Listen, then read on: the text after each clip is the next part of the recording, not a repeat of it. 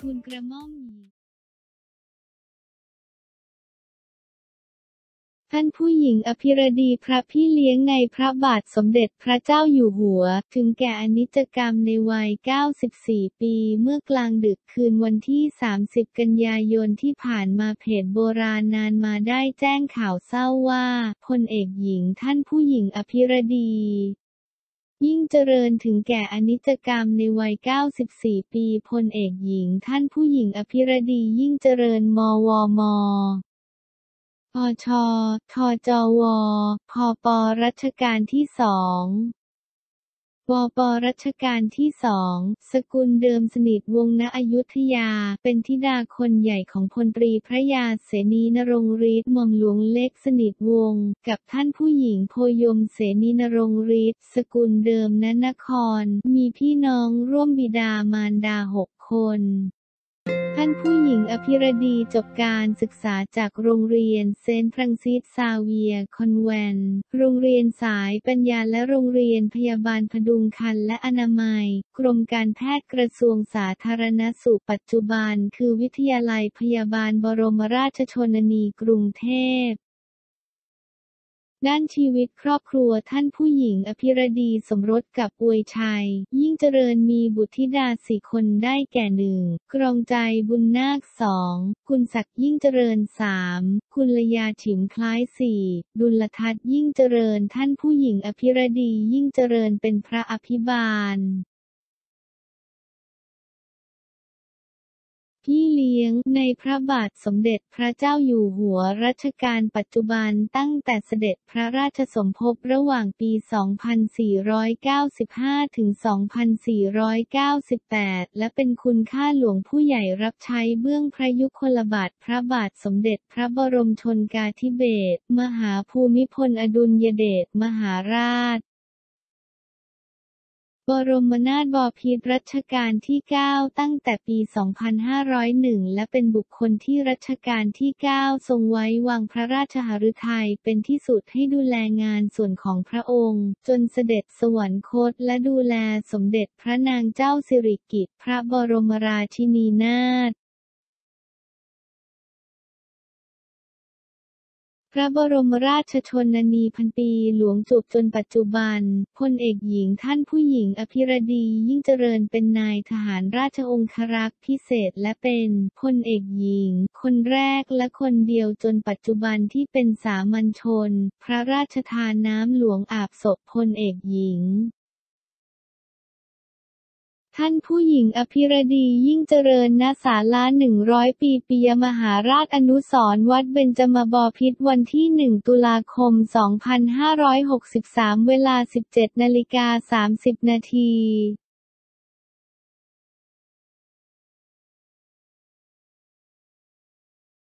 โปรดเกล้าโปรดกระหม่อมพลเอกอภิรัตพันตำรวจเอกนรัตเป็นรองเลขาธิการพระราชวังพระบาทสมเด็จพระเจ้าอยู่หัวทรงพระกรุณาโปรดเกล้าพระราชทาน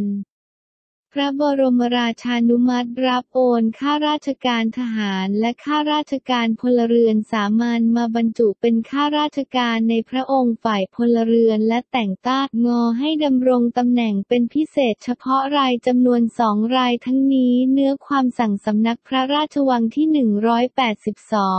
182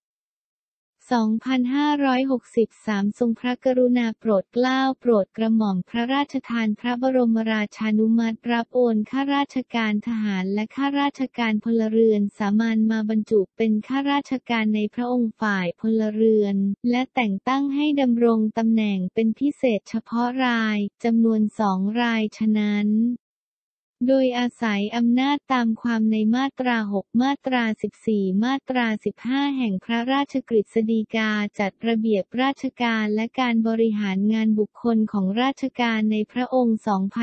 2560 ข้อ 12 ข้อ 13 ข้อ 15 แห่งระเบียบส่วนราชการในพระองค์ ว่าด้วยการบริหารข้าราชบริพารในพระองค์ 2560 ข้อ 11 แห่งระเบียบส่วนราชการในพระองค์ว่าด้วยการบริหารข้าราชบริพารในพระองค์ฉบับแก้ไขเพิ่มเติม 2563 ข้อ 29 แห่งระเบียบส่วนราชการในพระองค์ว่าด้วยรถราชการและค่าตอบแทนเหมาจ่ายแทนการจัดหารถประจำตำแหน่ง 2560 และข้อ 4 แห่งระเบียบส่วนราชการในพระองค์ว่าด้วยรถราชการและค่าตอบแทนเหมาจ่าย แทนการจัดหารถประจำตำแหน่งแก้ไขเพิ่มเติม 2563 จึงให้รับโอนค่าราชการทหารและค่าราชการพลเรือนสามัญมาบรรจุเป็นค่าราชการในพระองค์ฝ่ายพลเรือนและแต่งตั้งให้ดำรงตำแหน่งเป็นพิเศษเฉพาะรายจำนวนสองรายคือ พลเอกอภิรัตคงสมพงษ์ผู้บัญชาการทหารบกเป็นรองเลขาพระราชวังระดับ 11 และพันตำรวจเอกนรัตเสวตนันอธิบดีกรมราชทัณฑ์เป็นรองเลขาธิการพระราชวังระดับ 11 ทั้งนี้ตั้งแต่ 30 กันยายน 2563 เป็นต้นไป ลงชื่อพลอากาศเอกสถิตพงษ์สุขวิมลเลขาธิการพระราชวัง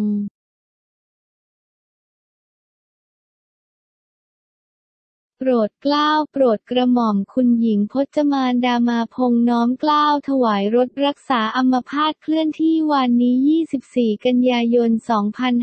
2563 พระบาทสมเด็จพระเจ้าอยู่หัว และสมเด็จพระนางเจ้าสิริกิติ์พระบรมราชินีเสด็จออกณพระที่นั่งอัมพรสถานพระราชวังดุสิต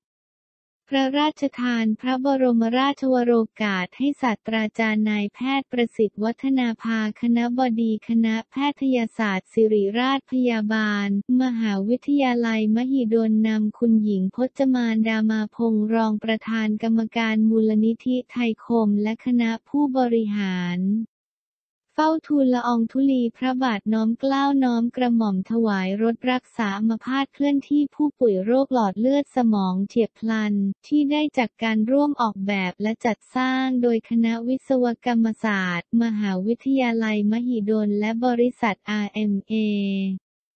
ออโตโมทีฟจำกัดจำนวนหนึ่งคัน โดยภายในรถได้ติดตั้งเครื่องเอ็กซเรย์คอมพิวเตอร์สมอง CT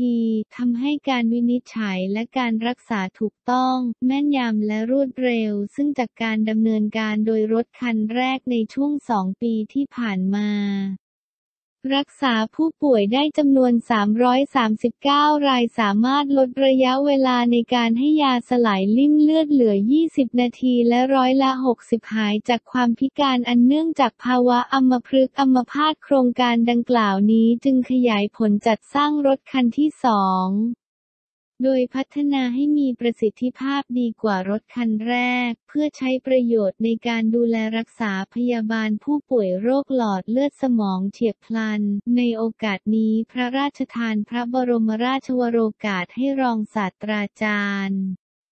นายแพทย์วิสิตวามวานิชผู้อำนวยการโรงพยาบาลสิริราชเฝ้าทูลละอองธุลีพระบาทรับพระราชทานรถรักษาอัมพาตเคลื่อนที่ แก่คณะแพทยศาสตร์สิริราชพยาบาล เพื่อใช้ในการบริการประชาชนต่อไป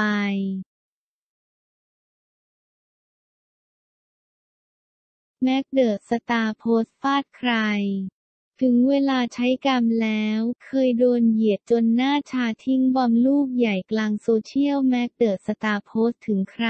ถึงเวลาใช้กรรมแล้วให้สังคมสอนคุณดีกว่า เผยเคยถูกเหยียดต่อหน้าคนอื่นจู่ๆแม็กจิรายุทธคันธยศหรือ แม็กเดอะสตาร์สีโพสต์ข้อความสุดแซ่บลงใน IG story โดยมีเนื้อหาทำนองว่าเคยโดนใครบางคนดูถูกว่าไม่ดัง งานน้อยจนทำให้รู้สึกอับอายต่อหน้าคนอื่น จนกระทั่งโดนอันฟอลโล่แต่มาถึงวันนี้รู้สึกว่าโชคดีมากๆ ที่ทำเอาหลายคนสงสัยไปว่าเจ้าตัวหมายถึงใคร